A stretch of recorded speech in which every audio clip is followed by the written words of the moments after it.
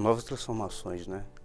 Da vinda dos, servidores e nisso nós tivemos um ganho muito grande referente a isso. Dentro do quadro é, próprio da ANEL, nós tivemos um ganho muito grande com as pessoas qualificadas. E eu trabalhando dentro do protocolo geral, tivemos assim mudanças, mudanças muito essenciais na constituição da agência, como, por exemplo, a vinda do novo sistema, que na época do DENAI realmente nós não tínhamos sistema nenhum, e não tinha sistema nenhum na época do DENAI. Aí veio o SIC 1, e depois passou um período, veio o SIC 2. Em 2002 veio o início da digitalização dos processos. Esses processos eram digitalizados. E dos tempos atuais hoje, nós estamos hoje com o SIC, SICNet, né, com a, toda a documentação chegando na ANEL através da protocolo digital, que é um, um passo muito importante, não só para a ANEL, mas sim para a sociedade. E o antes e o depois da pandemia, isso é bem, bem, bem nítido para todos nós, né? Bem nítido que nós passamos por uma, uma transformação cultural, questão de cultura.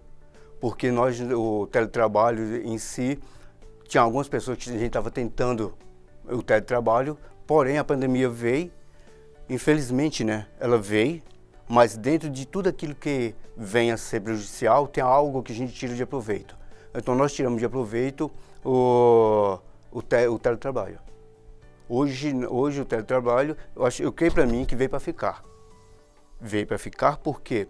Porque não só a ANEL, mas assim como o todo, é essa previsão para futuros.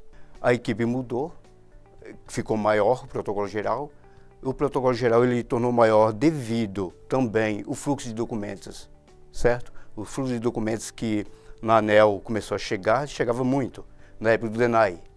Na época do DENAI chegava, mas depois que veio a agência reguladora, triplicou o número de documentos chegando na agência. Muitos órgãos não dão muita importância para um protocolo, porque achavam que o protocolo geral é simplesmente era o local de chegar e sair do documento, e na realidade não é.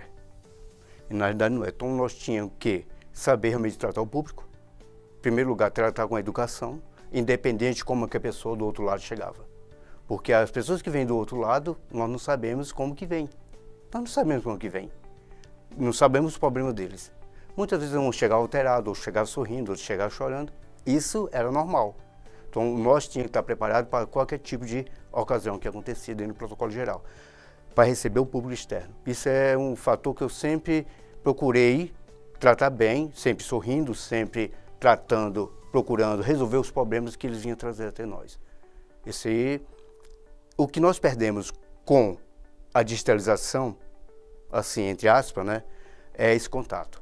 Um dos fatores que, assim, a ANEL, o pessoal chegaram, chegaram os índios, o resto na época do José Mário, e o protocolo é do lado.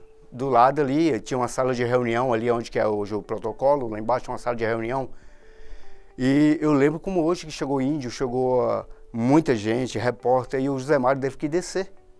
Né? E, eu, e eu não poderia receber o público, porque tinha como, o público não tinha como entrar, porque era na porta, é na porta do protocolo, a entrada de, da, da sala de reunião.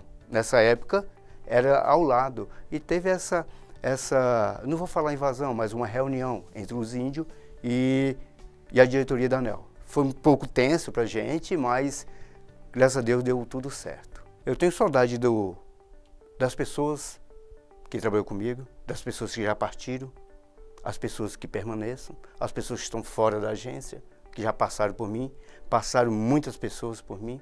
E eu tenho só a agradecer a Deus a oportunidade de estar aqui, de estar com eles, conviver com essas pessoas e estar aqui presente.